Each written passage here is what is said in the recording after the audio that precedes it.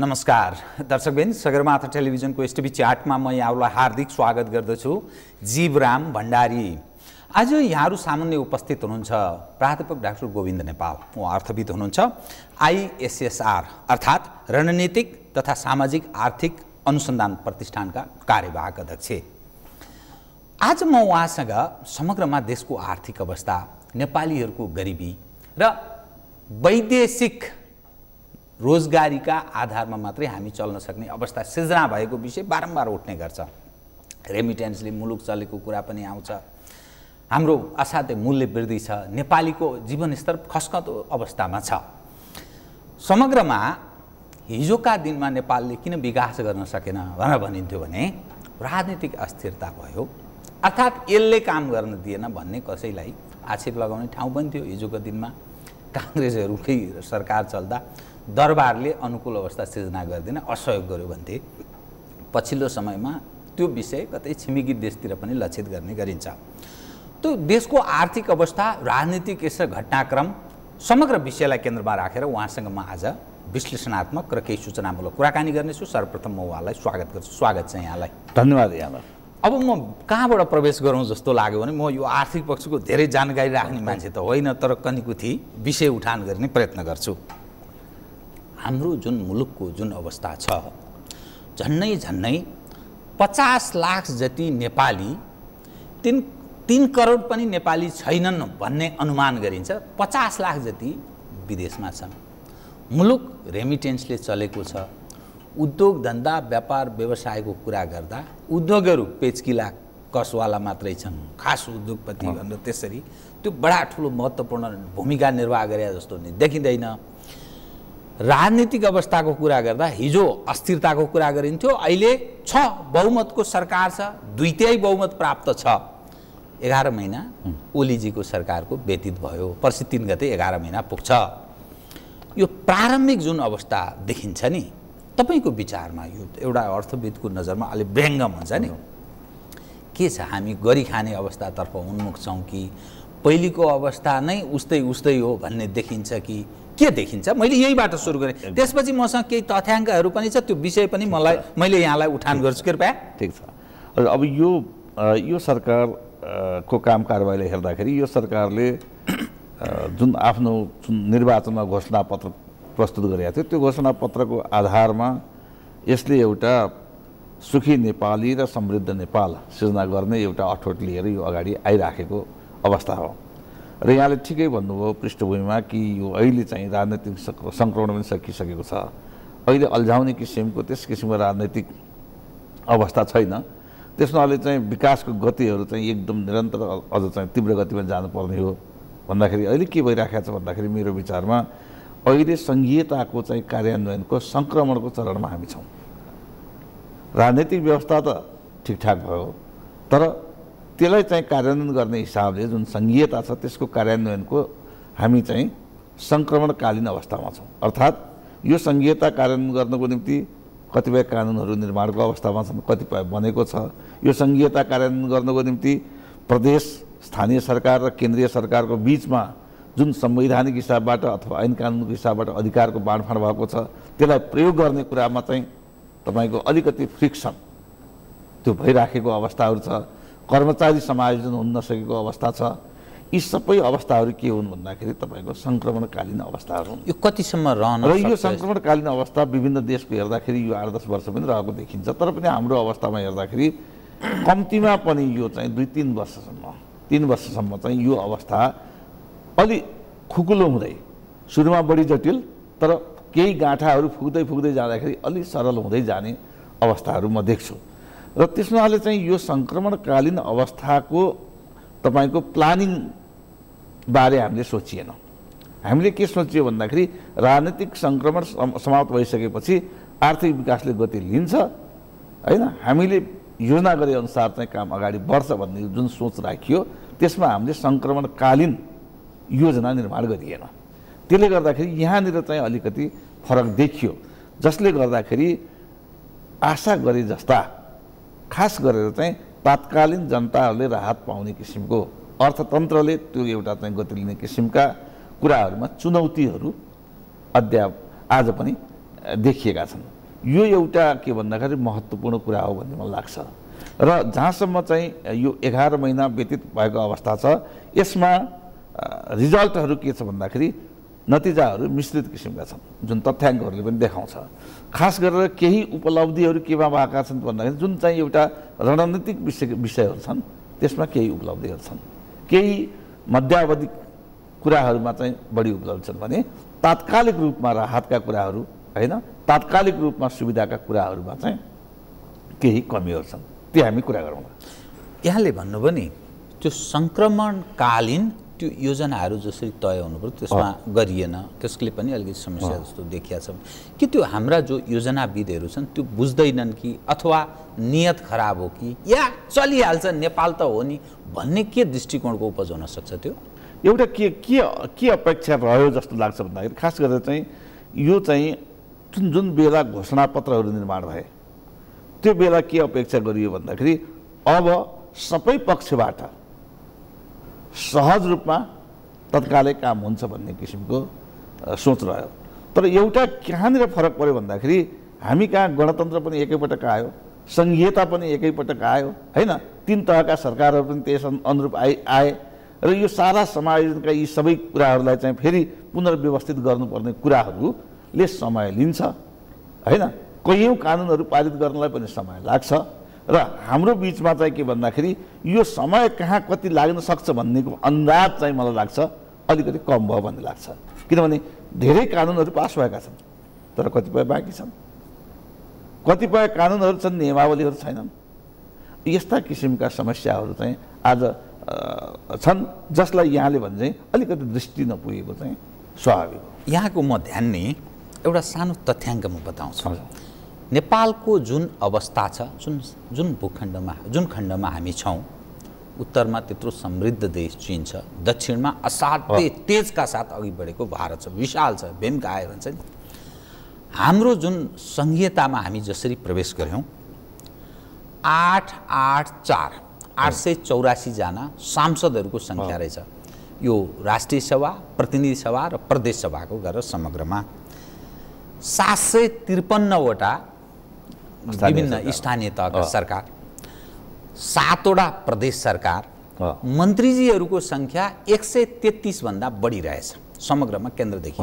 अनि यो सरकारी सुविधा लिनेको सङ्ख्या त यो यति भयो कि त्यो बडा बडा अचम्म लाग्छ हामी जस्तो मानिसलाई आय आर्जन छैन सङ्घीयतामा हामी प्रवेश गरेका छौँ फजुल खर्च बढोत्तरीमा छ यो हामी थेग्न सक्छौँ मैले किन यसकारण यो विषय उठान गरेको मसँग प्राप्त भएको तथ्याङ्कको म कुरा गर्छु। बाह्य हामीलाई ऋण। बाह्य ऋणको पाँच सय तिन अर्बको कुनै एउटा मैले त्यो गुगलमा खोज्दाखेरि त्यस्तो देखिन्छ। पाँच सय तिन अर्ब हामीलाई बाह्य विदेशीहरूको ऋण छ। त्योभन्दा प्लस देखाएको छ त्यहाँ। त्यस्तै आन्तरिक यो सरकारले आन्तरिक तिर्नुपर्ने ऋणको पनि आठ सय चौरानब्बे प्लस अर्ब ऋणको कुरा त झन् झन्नै बाह्र सय अर्बभन्दा बढी यो देश ऋणमा छ। अब हाम्रो खर्च यसरी बढेको छ फजुल खर्च अनुत्पादक क्षेत्रमा हाम्रो खर्च जुन बढोत्तरीमा छ नि हामी थेग्न सक्छौँ? चल्छ? मेरो प्रश्न यो यो विषय यो अब यो विषय चाहिँ के थियो भन्दाखेरि वास्तवमा सङ्घीयताको सन्दर्भमा बहस हुँदाखेरि पनि हामीले यो सन्दर्भमा अध्ययन गरेका थियौँ। म नै स्वयं विभिन्न अध्ययनहरूमा संलग्न थिएँ र त्यो अध्ययन केमा आधारित थियो भने एउटा म नामै लिउँ। जाइकाको सपोर्टमा हामीले एउटा अध्ययन गरिरहेका थियौँ कि हाम्रो मुलुकमा कतिवटा प्रोभिन्सहरू चाहिँ लाई आर्थिक हिसाबले धान्न सक्छ त? विभिन्न जिल्लाको तपाईँको आफ्नो आम्दानी र सरकारले त्यो जिल्लालाई गरेको सहयोगको आधारमा यथार्थ तथ्याङ्कहरूमा आधारित रहेर हामीले त्यो अध्ययन गरेका थियौँ। त्यो अध्ययनले के देखायो भन्दाखेरि यति धेरै अ, राज्यहरू धान्न कठिन छ। र विभिन्न मोडेलहरू। अझ एघार बाह्र तेह्रसम्मका चाहिँ सङ्घीय राज्यहरूका कुराहरू आइरहेको थियो। त्यसै गरी चाहिँ हजुरको चाहिँ चार पाँच तिनसम्मका पनि कुराहरू आइरहेको थियो। त्यसमाले यो सङ्घीय राज्य जुन आइसक्यो यसलाई थेग्नको निम्ति अहिले थेग्न सबभन्दा पहिला गाह्रो के हो भन्दाखेरि सुरुमा धेरै गाह्रो। सुरुमा खर्च भइ नै सक्छ तर आम्दानी भइसकेका हुँदैन।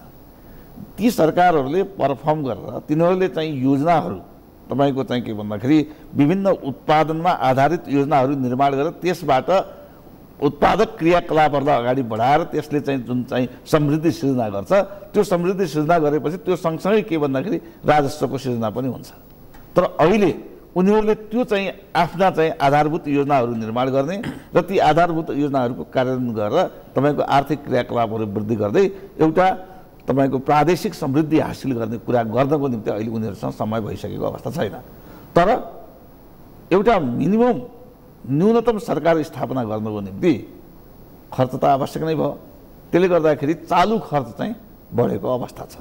र मन्त्री भनेर भनिसकेपछि मन्त्रीको निम्ति एउटा अफिस पनि चाहियो मन्त्रीको निम्ति एउटा क्वार्टर पनि चाहियो मन्त्रीको निम्ति एउटा गार्ड पनि चाहियो मन्त्रीको निम्ति तपाईँको आवास पनि चाहियो। त्यसमा अहिले प्रदेश सरकारको हेर्ने हो भने केही कुराहरूमा कतिपय फजुल खर्चहरू केही कुराहरूमा देखिएको छ। कतिपय कुराहरू चाहिँ जाने अथवा नजाने। म दुइटै भन्छु कि केही त्यो चाहिँ एउटा चाहिँ तपाईँको मितव्ययिता नभएको अवस्था छ। तर धेरैमा के छ भन्दाखेरि न्यूनतम सुविधामा राज्य बनिसक्यो सरकार भइ नै सक्यो तर सञ्चालन त गर्नु पऱ्यो नि। त्यो हिसाबको अवस्था पनि छ। जस्तो म तपाईँलाई उदाहरण दिन्छु कृपया। प्रदेश नम्बर पाँचको प्रादेशिक योजना आयोग जुन छ त्योसँग एउटा गाडी पनि छैन। उपाध्यक्षसँग एउटा गाडी पनि छैन। सदस्यहरू र उपाध्यक्ष बस्ने जम्मा दुईवटा कोठा छ एउटा कर्मचारी छ सबै। अब भन्नुहोस् अब यस किसिमबाट अत्यन्तै न्यूनतम अति आवश्यक व्यवस्थापन नभइकन पनि सञ्चालन भइराखेका छन् कामहरू भइराखेका छन्। कतै बढी पनि होला। तर यो किसिमको अवस्था अहिले छ। त्यस कारण यो मलाई के लाग्छ भन्दाखेरि यो सङ्घीय व्यवस्था धानिन्छ धानिन्न भन्ने कुरा अहिले सङ्घीय सरकारहरूले अथवा स्थानीय सरकारहरूले कसरी आफूलाई प्रस्तुत गर्छन्? कसरी आफ्ना योजनाहरू चाहिँ तपाईँको छनौट गर्छन्? अहिले यिनीहरू सबै पहिलो आवधिक योजना निर्माणको क्रममा छन्। कस्ता कुराहरूले प्राथमिकता पाउँछन् र कसरी जान्छन् यो हेर्नुपर्ने जरुरी छ र मलाई लाग्छ यो आउने पाँच वर्ष उनीहरूले बनाएको योजनाहरू कार्यान्वयन हुने पाँच वर्षमा कसरी यिनीहरूको चाहिँ कामहरू हुन्छ त्यसले चाहिँ बढी निर्धारण गर्छ भन्ने मलाई लाग्छ। किन भन्दाखेरि हामीसँग प्रशस्त मात्रामा चाहिँ सम्भाव्यताहरू छन्। त्यो सम्भाव्यताहरूको तपाईँको त्यसलाई मेटेरियलाइज गर्न नसकेको अवस्थाहरू हो। यदि उहाँहरूले इमान्दारीपूर्वक त्यो मेटेरियलाइज गर्न सक्नुभयो प्राथमिकता छान्न सक्नुभयो खट्न सक्नुभयो काम गर्न सक्नुभयो काम लिन सक्नुभयो भन्ने मलाई लाग्छ यो अहिलेको जुन समस्या छ त्यो समस्यामा केही समाधान होला। होइन यसै गरी केन्द्रमा आश्रित रहेर अथवा जनतालाई चाहिँ तपाईँको करको भार थोपरेर होइन मात्रै अगाडि बढ्ने अवस्था भयो भने यो ठुलो दुर्घटना हुनसक्छ। देश पुर्खाहरूले आर्जन गरिदिए छ। भलै त्यो पुर्खाहरूलाई दुत्कार्ने मान्छे नै हाम्रो समाजमा त्यो आपराधिक मानसिकता। बढोत्तरीमा छ। एक नम्बर दुई यस देशभित्र यस सरहदभित्र नेपाली छन्। त्यो नेपालीले बारम्बार किन प्रयत्न किन परिवर्तनका लागि आहुति दिन्छन् भने आफ्ना लागि पनि केही होस् मुलुकका लागि पनि केही होस्।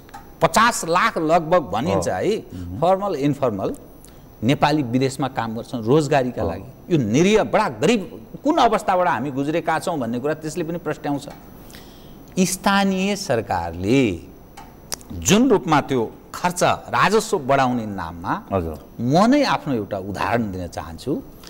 विगतमा म उदाहरणको लागि एक सय रुपियाँ तिर्थेँ भने अहिले हजार रुपियाँभन्दा बढी तिर्नुपर्ने अवस्थामा प्रवेश गरेछ। किन म आफै तिरेर आइरहेको छु? भलै त्यो अलिक मैले तिर्नुपर्ने सङ्ख्या अलिक बढी छ। हजुर।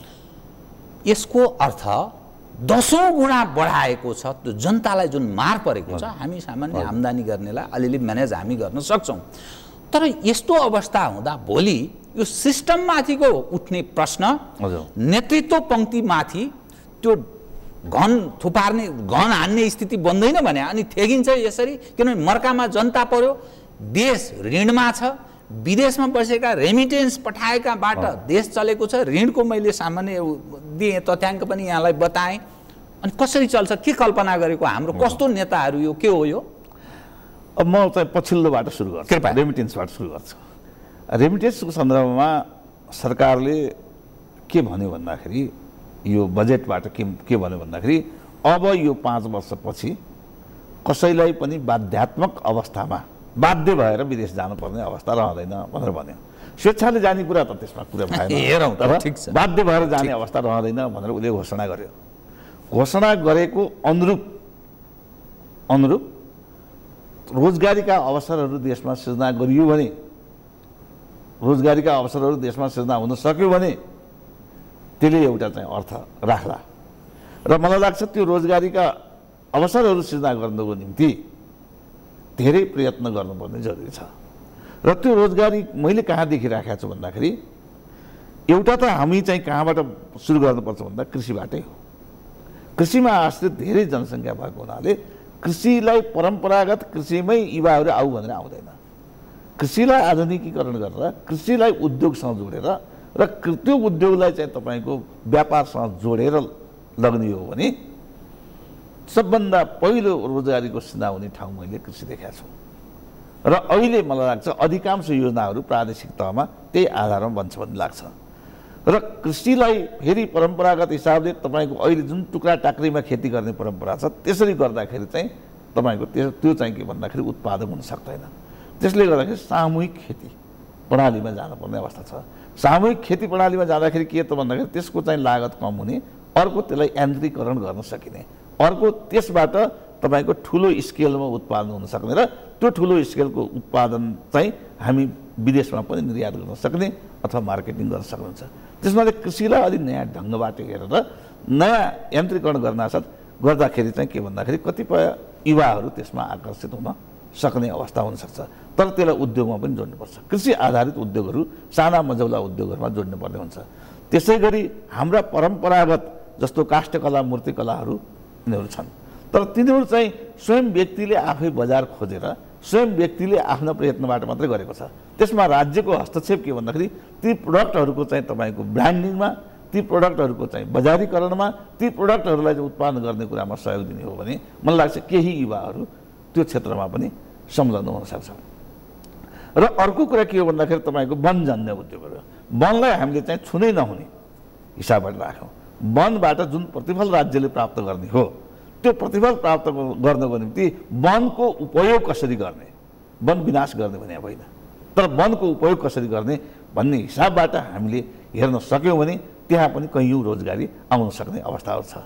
अर्को अब यी भनेको के भन्दा स्थायी रोजगारीका अवसरहरू हुन्। अस्थायी रोजगारीका अवसरहरू चाहिँ निर्माण क्षेत्रमा देखिन सक्छ। जस्तो अहिले चाहिँ हामी चाहिँ हाइड्रो पावर उत्पादनको कुरा गर्दाखेरि चाहिँ करिब करिब दुई हजार बाइस सय हाइड्रो पावर अहिले निर्माणाधीन अवस्थामा छ।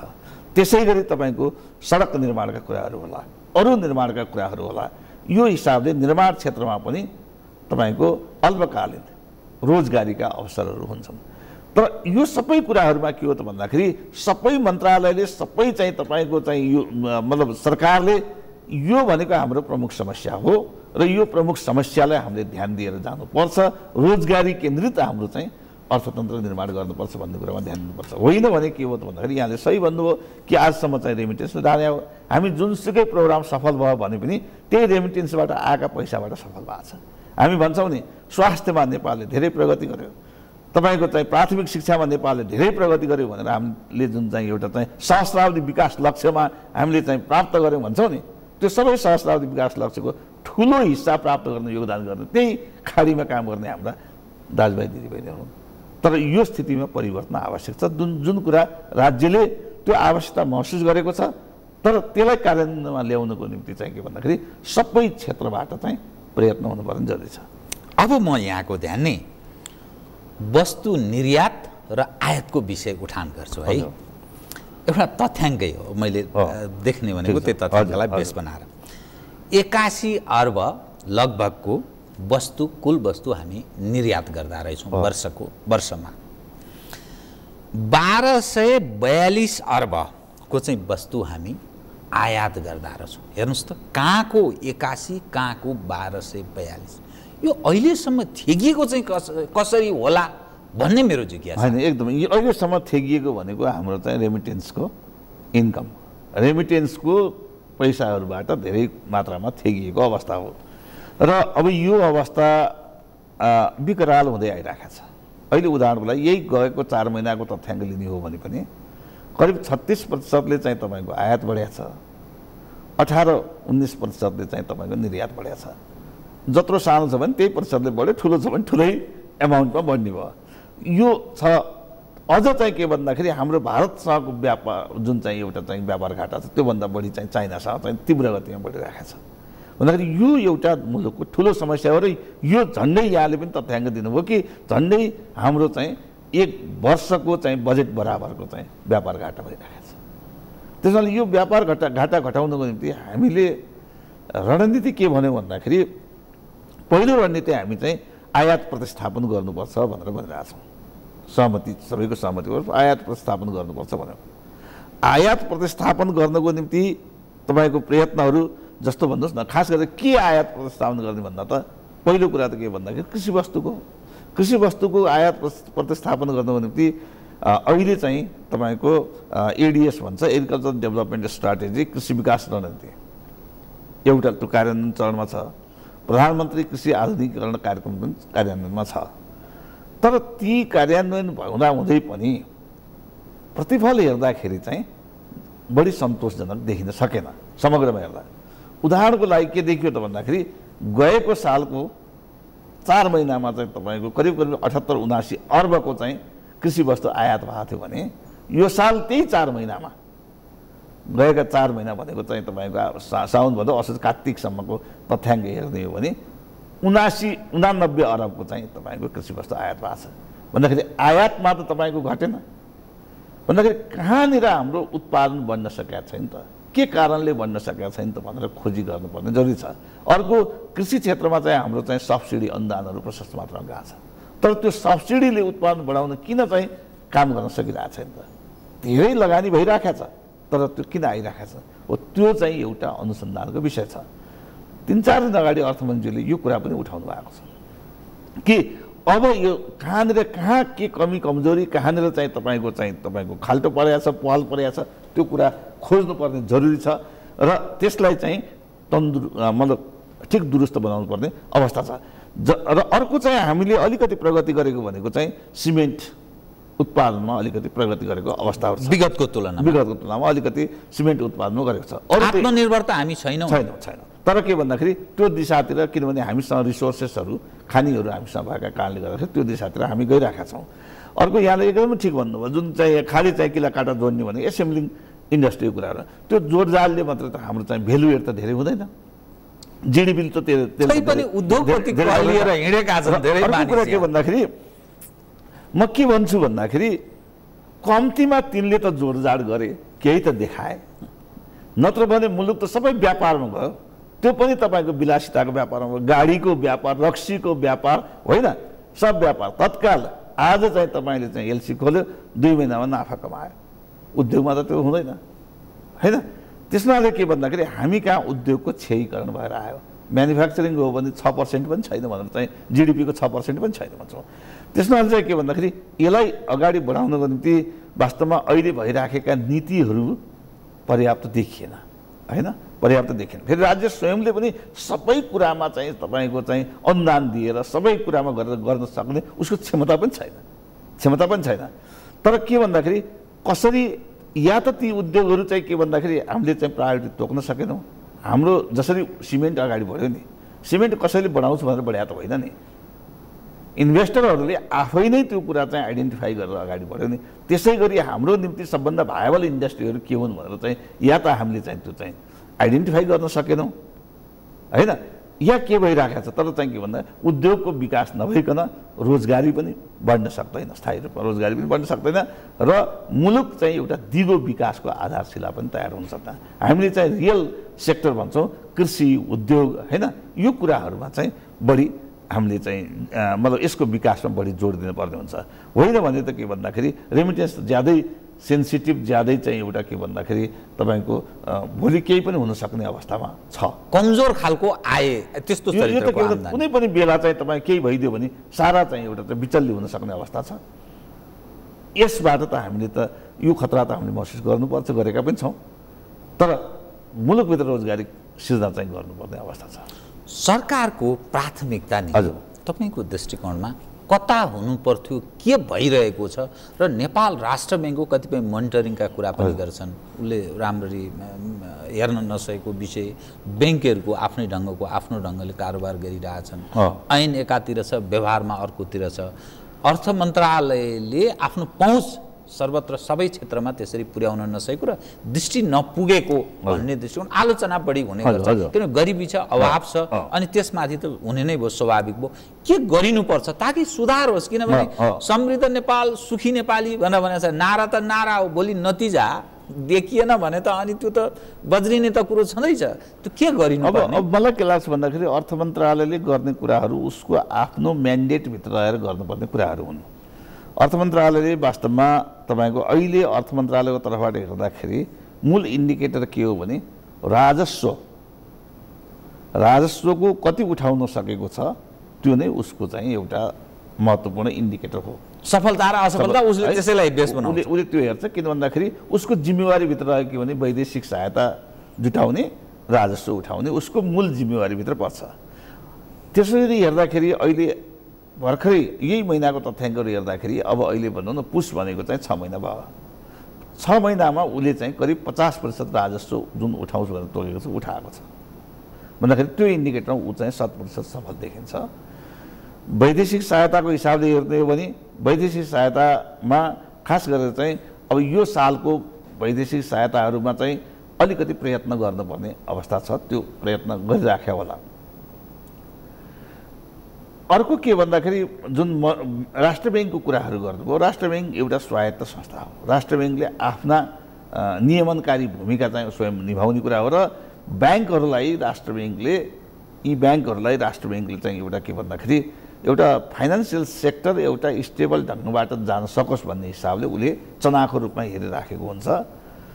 अरू कुरा चाहिँ लगभग चाहिँ ठिकै होला। तर के भन्दाखेरि जुन किसिमको यो चाहिँ यो चाहिँ पुँजीका अभावहरू होइन? यो चाहिँ लोनेबल फन्ड भन्नुहोस् न लगानी योग्य रकमका अभावहरू ब्याज दरमा तल माथिहरू चाहिँ जुन भइराखेको छ त्यसले चाहिँ तपाईँको चाहिँ लगानीकर्ताहरूलाई चाहिँ पिरोलेको छ। र यो जुन समस्या अर्थतन्त्रमा खास गरेर सेयर बजारको पनि कुराहरू छ यी सबै कुराहरू हेर्दाखेरि अलिकति त्यो सेक्टरमा स्ट्राटेजिक ठाउँहरूमा लगानी बढाउने कुरा जस्तो कृषि जलविद्युत यस्ता क्षेत्रहरूमा चाहिँ लगानी बढाउने कुरालाई प्राथमिकता दिने कुरा र क्यापिटल मार्केटलाई पनि एउटा सही दिशामा राख्ने कुरामा चाहिँ तपाईँको यी पोलिसीहरू चाहिँ अझ सुधार गर्नुपर्ने अवस्था चाहिँ छ। र राष्ट्र ब्याङ्कले राष्ट्र ब्याङ्कले को लियाजो एउटा मन्त्रालयको हिसाबले अर्थ मन्त्रालयले पनि त्यसमा के भन्ने प्रतिनिधित्व गरे हुन्छ। अर्थ मन्त्रालयको अर्थ सचिव नै त्यसमा प्रतिनिधित्व भएको हुन्छ। त्यसले गर्दाखेरि अर्थ मन्त्रालयले पनि यो कुरामा सुझावहरू दिइराखेको हुनुपर्छ। त्यसमाले चाहिँ हाम्रो चाहिँ पुँजी बजारदेखि लिएर हाम्रो चाहिँ जुन चाहिँ वित्त जुन फाइनेन्सियल सिस्टम वित्त प्रणालीहरूदेखि लिएर यो कुराहरूमा चाहिँ अलिकति के भन्दाखेरि अझ चनाखो हिसाबबाट हेर्नुपर्ने अवस्था छ। यो यो एउटा बडा महत्त्वपूर्ण जस्तो लाग्छ मलाई किनभने यो धितोपत्र यो सेयर बजारको जुन विषय बारम्बार उठ्ने गर्छ धेरै मानिसहरूले। यसमा संलग्न हुनुहुन्छ। स्थिर सरकार दीर्घ अब पाँच वर्षलाई त कसैले। सक्यो उहाँहरूले चलाउन सक्ने स्थिति रह्यो। उहाँहरूमा विभाजन। आयो भने त कसैले चलाउन सक्ने अवस्था छैन तर त्यो धितो बजारको त्यो एकदम उतार चढाव एकदम कमजोर अवस्था त्यो सेयरको एकदम घटेर गएको यो यसको पछाडिको के कारण हुन सक्छ अविश्वास आन्तरिक अविश्वास या बाह्य क्षेत्रबाट सहयोग हुँदैन भन्ने दृष्टिकोण सहित या के को उपज हो यो अब यसमा धेरै शङ्का आशङ्काहरू गरिन्छ तर चाहिँ एउटा के हो भन्दाखेरि मानिसले धितो पत्रमा लगानी गर्ने कि अर्को ठाउँमा लगानी गर्ने भन्ने कुराहरू चाहिँ उसको उसको चोइसका कुराहरू हुन्।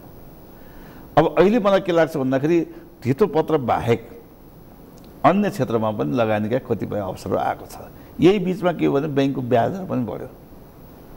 साढे तेह्र पर्सेन्टसम्म ब्याज दर चाहिँ कुनै ब्याङ्कले दिए।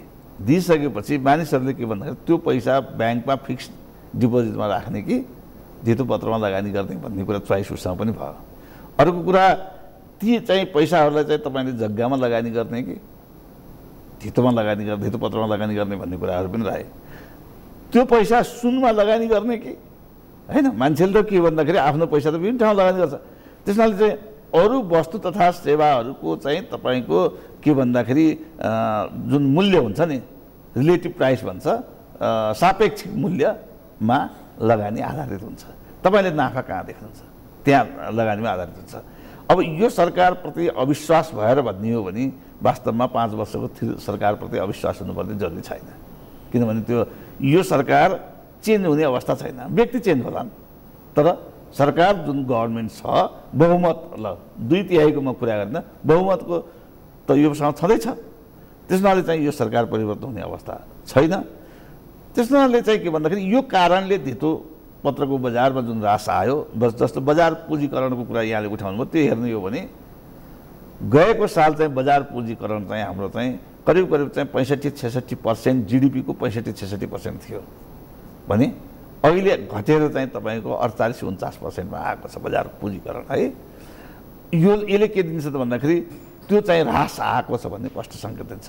तर यसरी ह्रास आउनु चाहिँ त्यति राम्रो चाहिँ होइन।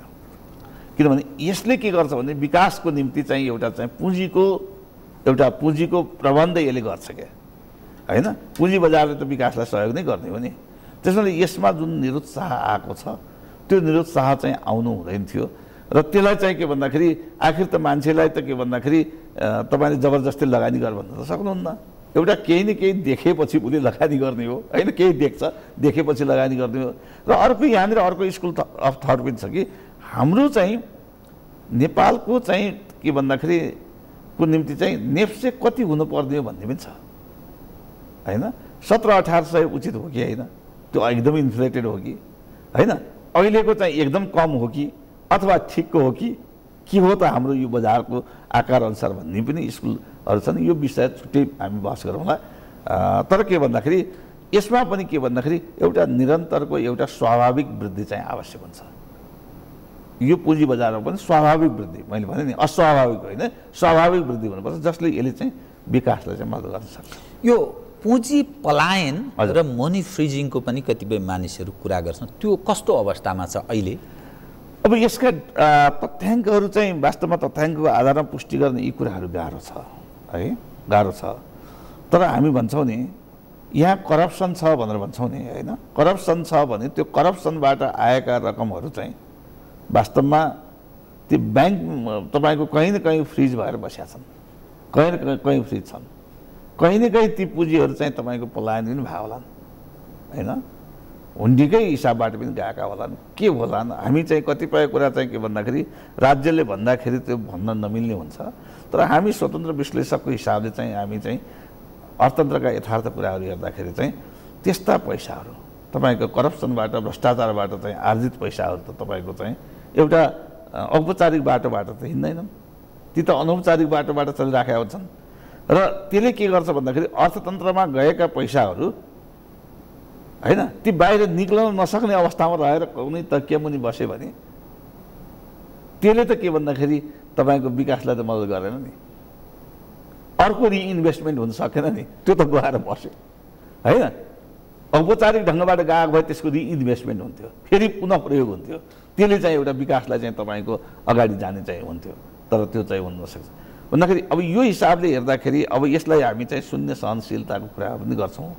केही हामीसँग चाहिँ तपाईँको त्यस्ता इन्स्टिट्युसन्सहरू पनि छन्। तिनले केही प्रयत्न पनि गरेका छन्।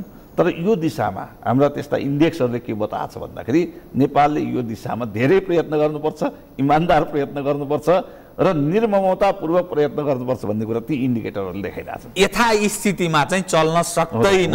धेरै काम धेरै धेरै यो पक्षमा धेरै सुधार गर्नुपर्ने देखिन्छ। अब यससँगै जोडिएको अब यो विश्व जुन ग्लोबल भिलेज सानो भइसक्यो संसार। भनेर भनिन्छ एउटा त्यो त्यस्तो अनुमान स्पेकुलेसन कस्तो गरिएको रहेछ भने सन् दुई हजार पचाससम्ममा संसारमा जो समृद्ध एक नम्बर कहिलेका देशहरू तल झर्ने। र तल रहेका देशहरू एक नम्बरमा पुग्ने त्यस्तो आकलन गरिएको छ। सन् दुई हजार पचासको त्यो मैले यसो सरस्वती डाटा हेरेको थिएँ। चिन संसारको एक नम्बरको देश हुनेछ। अमेरिकालाई उसले बुझ्ने झन्डै झन्डै पचास ट्रिलियनको उसले चाहिँ वार्षिक त्यो कारोबार त्यसरी गर्छ भनेर भन्छ। दोस्रोमा अमेरिका हुनेछ र तेस्रोमा भारत। हजुर। अनि जापानहरूदेखि लिएर जर्मन यी विविध देशहरूको बेलायत बेलायत पनि छ त्यसमा तर टप टेनभित्रमा विविध देशहरूको इन्डोनेसियाको कुरा आउँछ यी विविध देशहरूको नाम आउ आउँछ। मेक्सिकोको पनि त्यससँगै जोडिन्छ। हाम्रो जस्तो जुन देश जुन अवस्थामा हामी छौँ। र हाम्रो जुन क्वालिटीको तन्नम प्रकृतिको राजनीतिक नेतृत्व भन्छु। हजुर। र जुन खालको हाम्रो कमजोर संयन्त्रका माझमा हामी उभिएका छौँ संसारको सबभन्दा शक्तिशाली एक नम्बरको देश उत्तरको हुने तेस्रोमा अर्को दक्षिणको देश हुने। त्यस्तो बेलामा हामी हाम्रो आफ्नोपन अपनत्व मुलुक कसरी बचाउन सकौँला? मलाई के लाग्छ भन्दाखेरि हाम्रो त्यो हाम्रो चाहिँ दुईवटा छिमेकीहरूको त्यो अवस्था त्यो समृद्धिको अवस्था भयो भने मलाई लाग्छ त्यो समृद्धिको अवस्थाबाट हाम्रो अवस्था पनि। त्यसको चाहिँ तपाईँको सकारात्मक प्रभाव हाम्रो अर्थतन्त्रमा पनि पर्छ। यद्यपि अहिले पर्न सकिराखेका छैन अहिले पनि हामीभन्दा समृद्धहरू छन्। किन परिराखेका छैन त भन्दाखेरि अहिले हामीले कुरा गऱ्यौँ नि। हाम्रो चाहिँ विकासको निम्ति आवश्यक न्यूनतम कुराहरू हामीले पुरा गर्न सकिरहेका छैनौँ। अब भन्दाखेरि कसैलाई चाहिँ तपाईँको चाहिँ त्यो चाहिँ गाह्रो साँगुरो लाग्ला तर के भन्दाखेरि हामीले न करप्सन नियन्त्रण गर्न सकेका छौँ न हामीले कमिसन नियन्त्रण गर्न सकेका छौँ न हामीले चाहिँ तपाईँको वैदेशिक सहायताहरू चाहिँ तपाईँको वैदेशिक लगानीहरू ल्याउन सकेका छौँ। वैदेशिक लगानीको कुरा गर्ने हो भने तपाईँले भन्नुहोस् न गएको इन्भेस्टमेन्ट समिटमा करिब करिब तेह्र खर्बको चाहिँ प्लेजिङ त भएको हो नि इच्छा त व्यक्त गरे हो नि तर त्यो लगानी हामीले कति ल्याउन सक्यौँ? किन लगानी आएको छैन? के नेपाल अनुत्पादक भएर लगानी नआयो होइन। मेरो विश्लेषणमा नेपालमा लगानी नआउनुको कारण चाहिँ दुईवटा प्रमुख कारण छ। त्यो नन इकोनोमिक कारणहरू हुन्। एउटा त के भन्दाखेरि कसैले लगानी लिएर आउनु खोज्यो भने तपाईँको त्यसलाई चाहिँ तपाईँको अनेक किसिमका त्यसबाट चाहिँ तान्न खोज्ने। होइन? माथिदेखि तलसम्म तान्न खोज्ने जुन किसिमको चाहिँ दुःख दिने तपाईँको अनेक किसिमको चाहिँ त्यो चाहिँ प्रवृत्तिहरू जुन चाहिँ छ भन्ने उनीहरूको गुनासो छ। इन्भेस्टरहरूको गुनासो त्यो छ। अर्को के छ भन्दाखेरि यहाँ चाहिँ निर्णय गर्ने कुरामा ढिला सुस्ती जतिसुकै एकद्वार प्रणाली भने पनि होइन?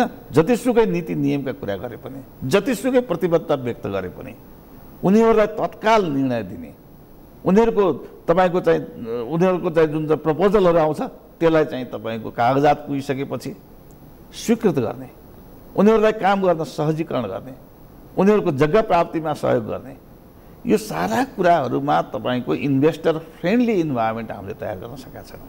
वातावरण रहेन हामीले वातावरण दिन सकेकै छैनौँ यो हामीले स्वीकार जबसम्म यो स्वीकार गर्दैनौँ हामी चाहिँ नीतिगत दस्तावेज देखाउँछौँ नि "इ, यसरी हामी सहयोग गरेका छौँ यसरी सहयोग गरेका छौँ यसरी सहयोग गरेका छौँ जब जबसम्म देखाउँछ नि हामीले आफैले आफूलाई ठग्या हुन्छौँ यो दुईवटा कुरामा सुधार नभएसम्म यो बिहेभियरल कुरा हो।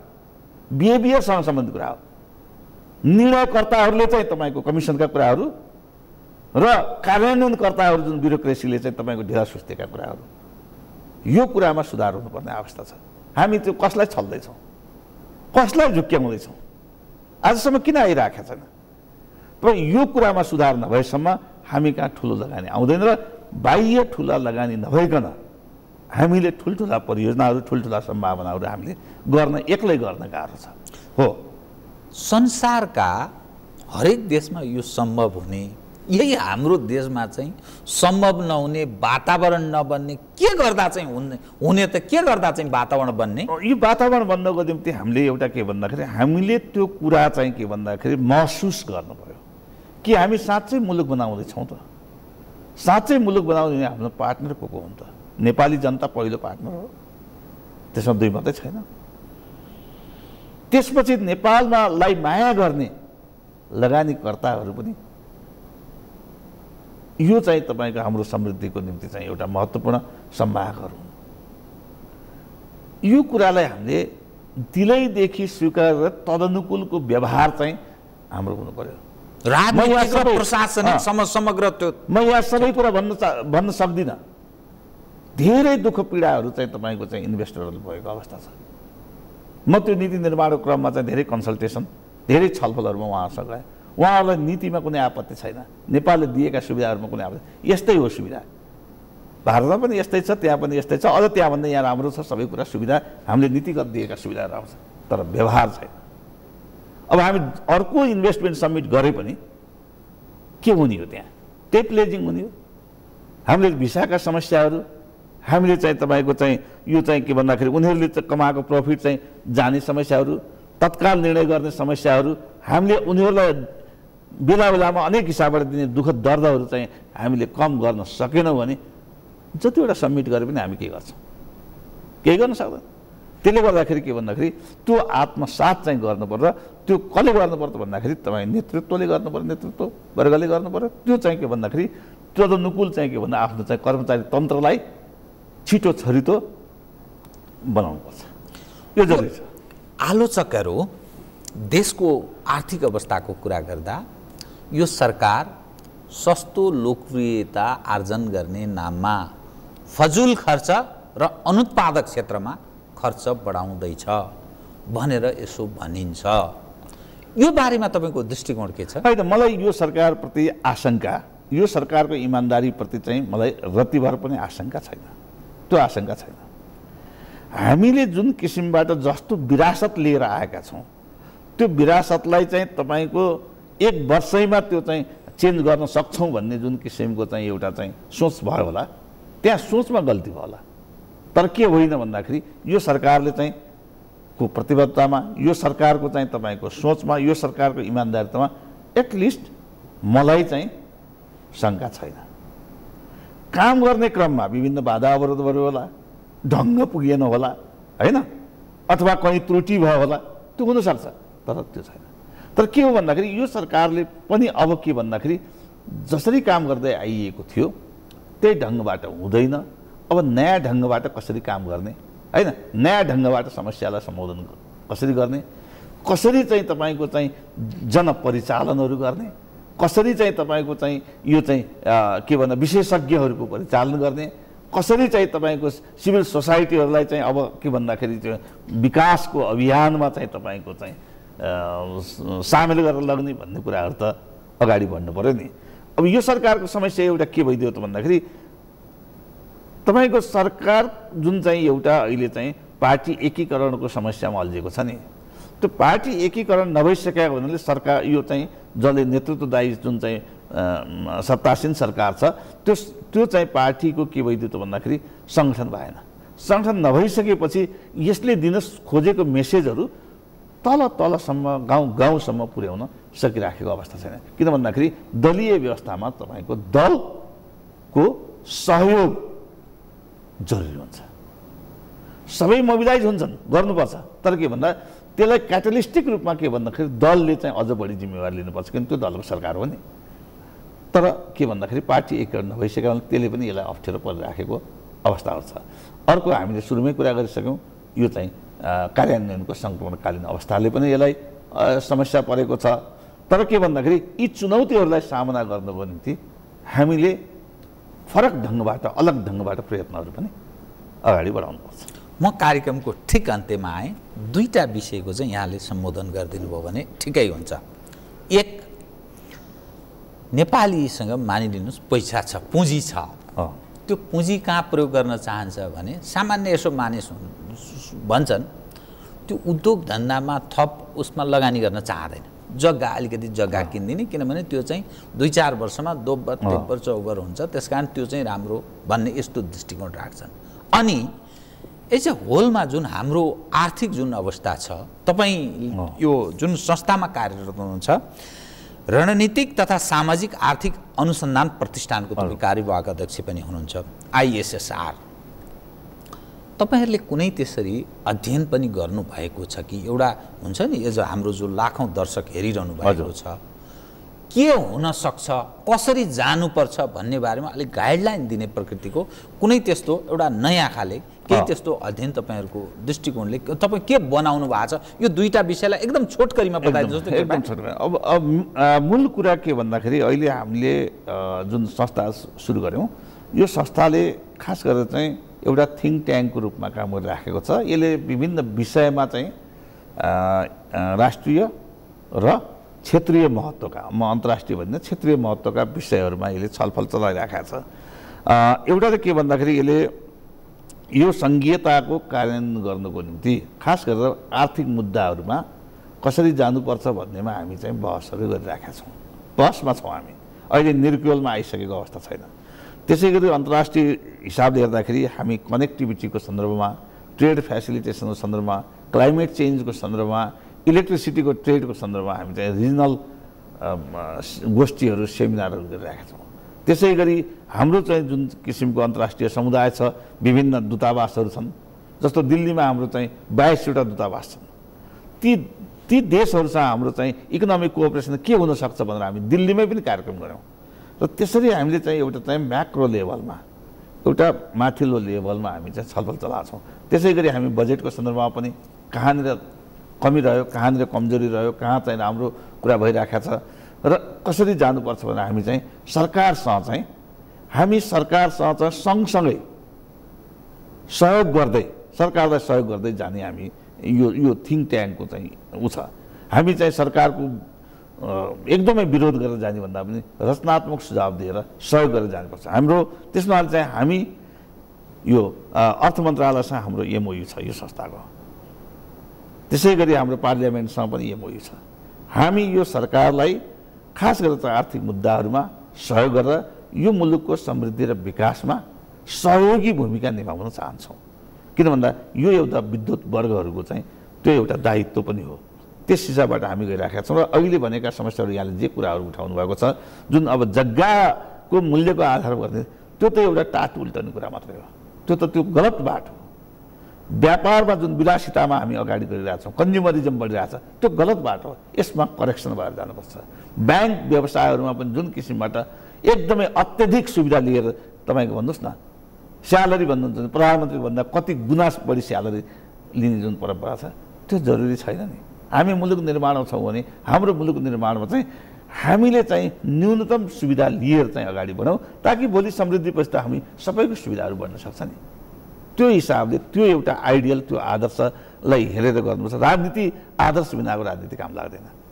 बडा समस्या है कि सर्वत्र आइडल बिनाको राजनीति आदर्श बिनाको राजनीति काम लाग्दैन। सबल नेतृत्व। हामी आश चाहिँ गरौँ किनभने प्रारम्भिक चरणमा छ एक वर्षको क्रममा छ।